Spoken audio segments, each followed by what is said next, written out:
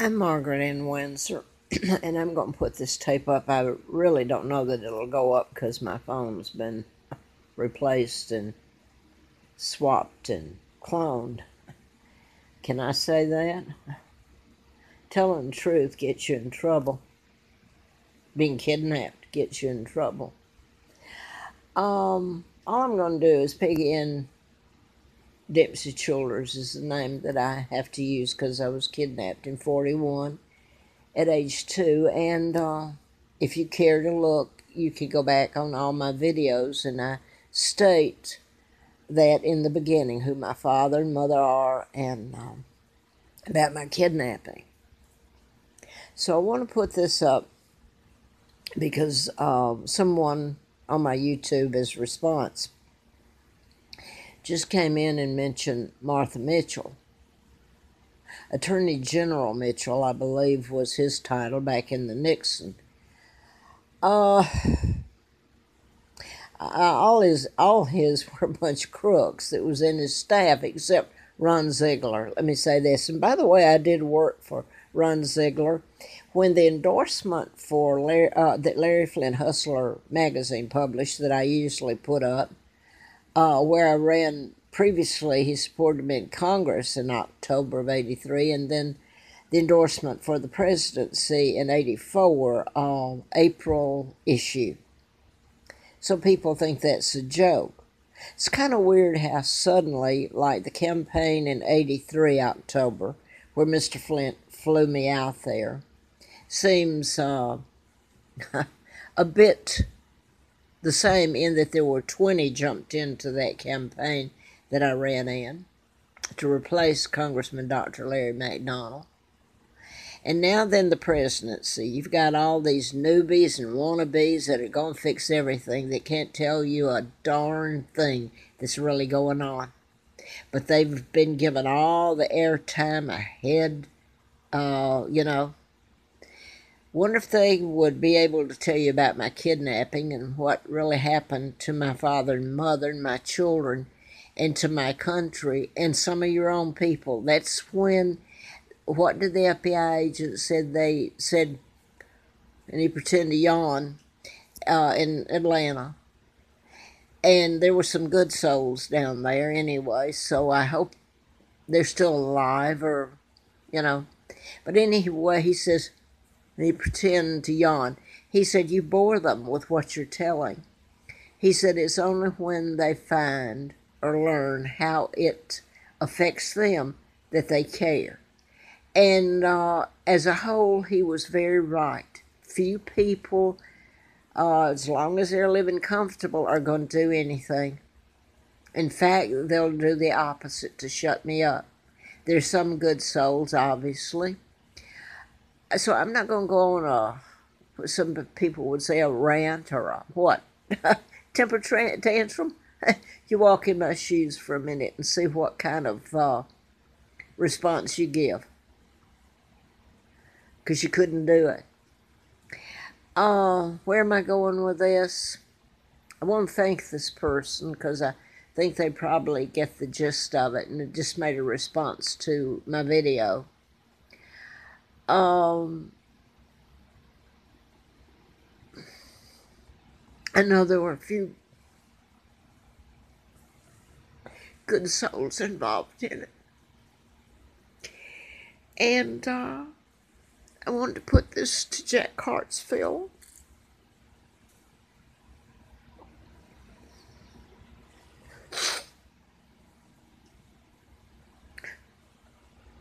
An unknown hero. Who saved my life. And Salvador Mazzini, Mazzini, the Brits, Germans, and some Americans. Granted, it was hell, but at least I guess I lived. I don't know how much longer because my tapes are not going up anymore. And I put this on YouTube just a couple of minutes ago in response to uh, this gentleman about Martha Mitchell, etc., because she does fit into it. the Nixons and Watergate. I'm going to stop here because it's I've lived in fear all my life. Um, and Jack, when he was living out in um, Los Angeles, by the way, he knew Larry Flynt. Larry Flynt had been shot by a program shooter, which was part of what I was writing about in the book.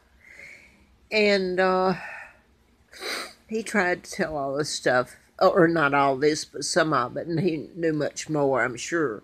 He was FBI, but he worked undercover as a reporter, Los Alamos, Huntsville Times, uh, New Mexican News, etc.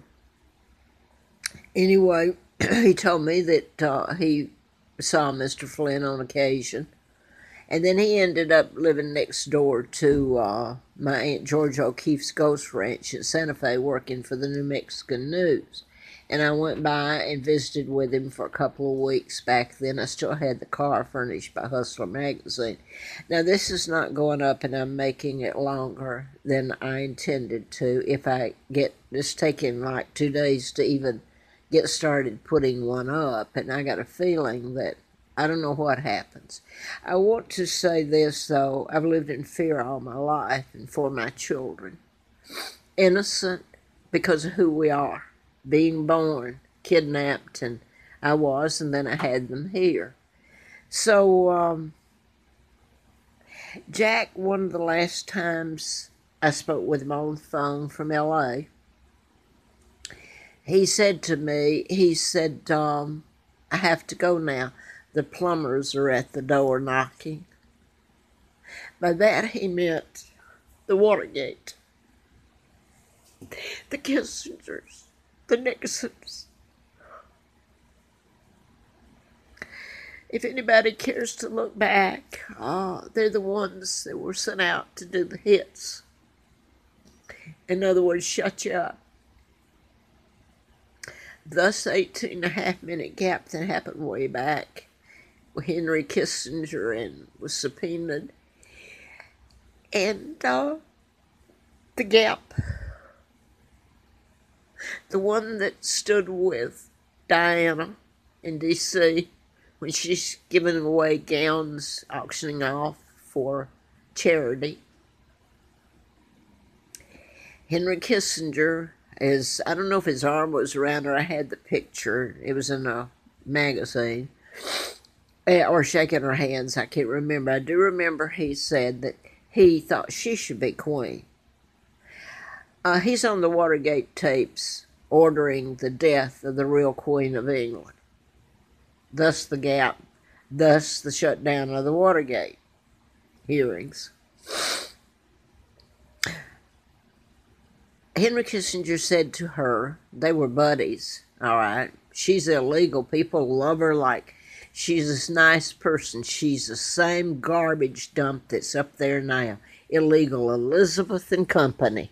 All of money hungry bastards. Can I say that? By God, I've been called every name in the book for telling the truth and live in fear that they're going to knock at my door any minute. Uh, but anyway, here's Henry Kissinger speaking, the words of a true psychopath. He tells her he wish he uh, thought she should be queen. He said, after all, I don't know if he said after all. You can I found where he said it to make sure it wasn't just this article that his ultimate aphrodisiac, pleasure, etc., etc., was money and control. There you go, the New World Order.